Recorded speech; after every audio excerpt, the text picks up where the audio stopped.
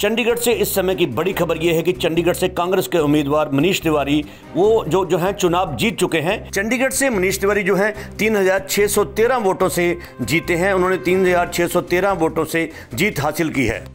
और जो भारतीय जनता पार्टी के संजय टंडन है, वो वहाँ से हार गए हैं। इस चुनाव में जो चंडीगढ़ के भाजपा की बात करें तो उनको, उनका ओवर कॉन्फिडेंस जो है, वो ले डूबा है। कांग्रेस पार्टी जो है, वो यहाँ से चंडीगढ़ से जीत गई है। चंडीगढ़ से इससे पहले की बात करें तो इससे पहले दो टर्म में 10 साल जो पिछले हैं, वो भारतीय जनता पार्टी के गए हैं और उससे पहले पंद्रह साल जो थे, वो कांग्रेस पार्टी के पवन कुमार बांसल जो थे, वो यहाँ से सांसद रहे हैं। और अब जो है, इस बार फिर से कांग्रेस जीती है और कांग्रेस के मनीष तिवारी यहाँ से सांसद चंडीगढ़ से बन गए हैं।